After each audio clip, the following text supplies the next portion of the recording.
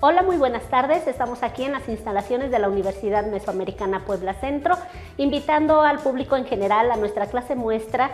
Vamos a hablar acerca del envejecimiento cutáneo. Una de las cosas que eh, necesitamos saber profundamente las cosmetólogas es acerca de la oxidación de la célula, cómo poder regenerarla, cómo nutrirla, cómo repararla. Dentro de las materias de formación en la licenciatura de cosmetología e imagen integral, tenemos una asignatura que se llama fisioestética.